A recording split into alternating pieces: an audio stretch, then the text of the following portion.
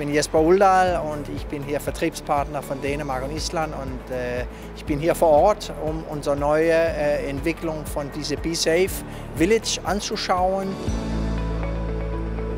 Die Reise war eigentlich ganz angenehm ähm, äh, unter den Voraussetzungen für die jetzige Situation war die Flughafen äh, relativ leer. Die Security äh, äh hat gut funktioniert, äh, äh, war einfach. Äh, man muss selbstverständlich nur den Masken tragen, auch in Flieger. Beim Ankunft in, in Deutschland, hier in NRW, habe ich mich auch sehr gut gefühlt. Das war kein Problem im öffentlichen Verkehr.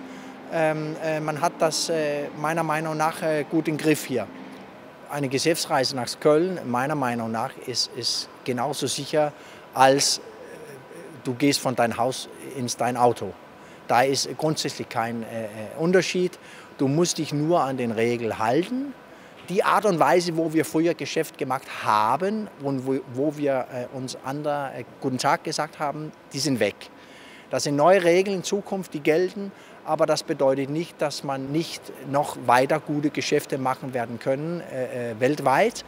Und, und dann braucht man einen Standort und da ist die Sicherheit Standort auf jeden Fall Köln.